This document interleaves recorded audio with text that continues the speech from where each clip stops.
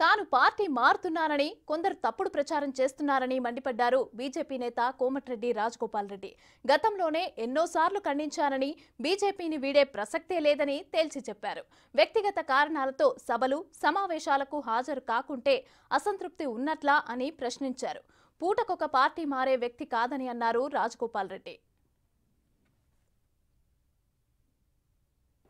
కొందరు వ్యక్తులు పార్టీ మారుతున్నానని చెప్పి పదే పదే దుష్ప్రచారం చేస్తుండ్రు. గతంలో చాలాసార్లు నేను ఖండించిన. కిషన్ రెడ్డి గారి ప్రమాణ స్వీకార సభలో కూడా చాలా క్లియర్గా చెప్పిన పార్టీ మారే ప్రసక్తే లేదు అని చెప్పేసి. కొన్ని సందర్భాల్లో వ్యక్తిగత పనుల మీదనో వ్యక్తిగత కారణాల వల్లనో ఏదో ఒక అనారోగ్యం కారణంగా ఒక మీటింగ్ అటెండ్ కాకపోతే రాజగోపాల్ రెడ్డి డుమ్మా ఆబ్సెంట్ అని చెప్పి పెడుతున్నారు. దానికి ఒక కొత్త పార్టీ మారుతున్నా అని చెప్పి రంగు పులుముతున్నారు మేము ఎంతసేపు with in the party Congress మన మా బీజేపీ పార్టీ నాయకులు మేము కలిసి మాట్లాడుకున్నంత మాత్రాన మాకేదో అసంతృప్తి ఉన్నట్టు కాదు.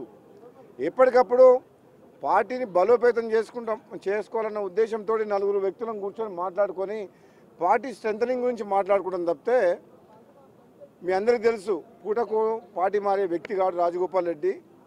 కేసీఆర్ని ఈ టీఆర్ఎస్ పార్టీని బొందబెట్టాలంటే అది కేవలం కేంద్రంలో అధికారం ఉన్న మోడీ గారి నాయకత్వంలో అది భారతీయ జనతా పార్టీకి సాధ్యమని నమ్మకంతో నా పార్టీకి పదవికి రాజీనామా చేసి భారతీయ జనతా పార్టీలో చేరి ఒక చరిత్రలో జరగని యుద్ధం చేసినాం.